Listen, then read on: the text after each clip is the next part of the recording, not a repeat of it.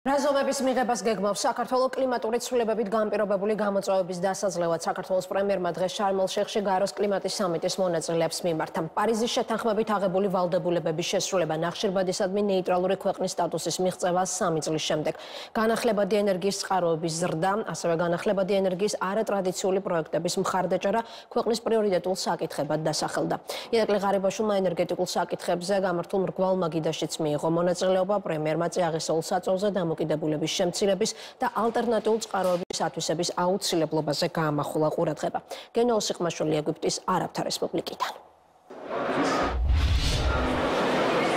საქართველოს დელეგაციამ ეგვიპტის არაბთა რესპუბლიკაში შარმელ-შეიხში ბოლო օրების განმავლობაში სხვადასხვა ფორმატის შეხვედრები გამართა. თუმცა ყველაზე მნიშვნელოვანი მაინც დევანდელი დღე იყო, რადგანაც საქართველოს პრემიერ-მინისტრმა მონაწილეობა მიიღო ლიდერთა სამიტში. ამ სამიტში 120-ზე მეტი ქვეყნის პირველი პირი იღებდა მონაწილეობას. ისინი სიტყვით გამოდიოდნენ და სწორედ მათ მიმართა ირაკლი ღარიბაშვილმა. თავის სიტყვით გამოსვლაში მან ყურადღება გაამახვილა მსოფლიო ლიდერთა პასუხისმგებლობაზე და აღნიშნა, რომ კლიმატური ცვლილებების შესასუსტებლად საერთო ძალისხმევაა საჭირო. ასევე თავის სიტყვით გამოსვლაში შემთხვევაში საქართველოს პრემიერმა ისაუბრა იმაზე, რომ ქვეყანას საქართველოს სოფლიოში ერთ-ერთი ყველაზე სუფთა ელექტროსისტემა აქვს, იქიდან გამომდინარე, რომ ქვეყნის ელექტროსისტემის 85% განახლებად ენერგიაზეა დამოკიდებული და ამ რიცხვის კიდევ უფრო მეტ გაზრდას, მეტად გაზრდას შეეცდება ქვეყანა.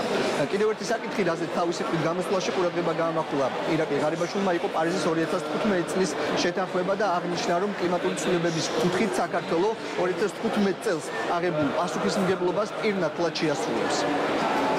There is no time for deliberation. საუბრის დრო აღარ დარჩა, რადგან ახლა საჭიროა სწრაფი და შედეგზე ორიენტირებული ქმედებები. ამ სულისკვეთებით საქართველოს განიხილავს პარიზის შეთანხმებით ნაკისრი ვალდებულებების ჯეროვანი შესრულების საკითხს და მისი ეროვნულ დონეზე გაწერილი წვლილის გაზრდის ამბიცია გააჩნია 2025 წლისთვის. შევიმუშავეთ მეტად ყოვლის მომცველი სტრატეგია კლიმატის ცვლილების სფეროში და შესაბამისი სამოქმედო გეგმაც გაიწერა 2030 წლისთვის. კლიმატის ცვლილების ამბიციური დღესწესრიგის შემდგომი ხელშეწყობისა და შედეგების შერბილებისთვის. ამასთანავე საქართველოს თავისი გზელვადიანი და დაბალი ემისიის სტრატეგიით მიზნად ისახავს ნახშირბადისადმი ნეიტრალური ქვეყნის სტატუსის მიღწევას 2050 წლისთვის. ერთიანი ეროვნული ძალისხმევითა და საერთაშორისო ძალისხმევით. გარდა ამისა ვაგზელებთ ისეთი არატრადიციული განახლებადი ენერგიის პროექტების განვითარებას და მხარდაჭერას, რომლებიც მზის, ქარის, წყლის, გეოთერმული და მდგრადი ენერგიის სხვა საშუალებებია. დარწმუნებული ვარ ძლიერი ჩარჩოს შემუშავება და ქვეყნების მდგრადობის ზრდა გახდება ჩვენი ამ მოლაპარაკებების შედეგი შარმალ-შეიხში.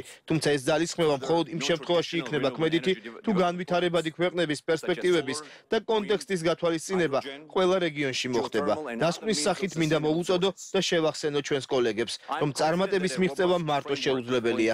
მხოლოდ ერთობლივი ძალისხმებით შევძლებთ შედეგის მიღწევას. ამიტომ მოდით, ერთად გარდაქმნათ დაინტერესებულ წრეთა და მხარეთა 27-ე კონფერენციის შედეგები სწრაფ ქმედებებში კლიმატის გადასარჩენად.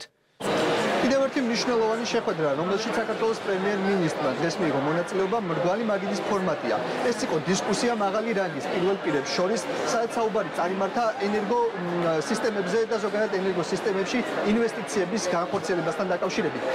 ამაზე საქართველოს პრემიერ-მინისტრმა ირაკლი ღარიბაშვილმა ტვიტერში სოციალურ ქსელში პოსტიც გამოაქვეყნა, სადაც აღნიშნა, რომ წიაღისეულ საწოლზე დამოკიდებულების შესამცირებლად საჭიროა მეტი კაპიტალი ჩაიდოს ალტერნატიულ ელექტროსისტემებში სისტემებში.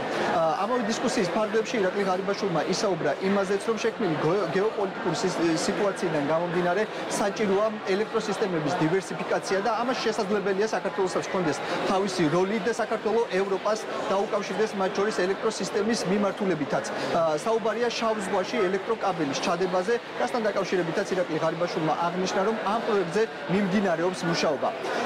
ამით საქართველოს დელეგაციამ დაასრულა მუშაობა შარმელ-შეიხში, ეგვიპტის არაბთა რესპუბლიკაში, სადაც ორი დღის განმავლობაში, როგორც გითხარით, სხვა სხვა სახის შეხვედრები იმართებოდა, რაც შეეხება თავის კონფერენციას, კონფერენცია გრძელდება და ის 18 ნოემბერს დასრულდება.